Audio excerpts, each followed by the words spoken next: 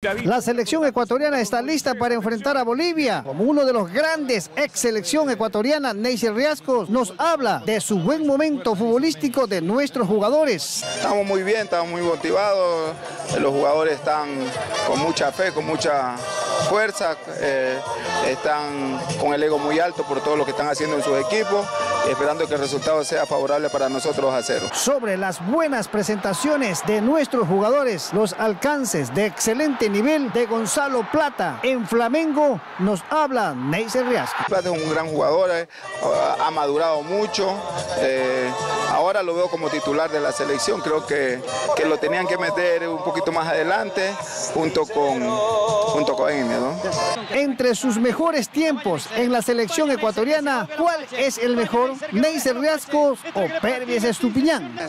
Pervis, Pervis. actual, actual, actual Pervis. Pero en su tiempo usted era el mejor.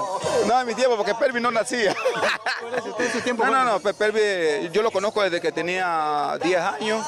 Él hizo todas sus inferiores en siempre hablaba conmigo, siempre estaba, hasta ahora, ¿no? El último partido que vinieron a jugar con Paraguay me dio las entradas, agradecido con ese muchacho, una buena persona, un gran jugador y espero que siga triunfando. Neisel Riasco también es uno de los responsables de la llegada del Nacional a Santo Domingo para enfrentar al Club Barcelona el próximo sábado. Para Saracay Deportes les informó Miguel Bravolor.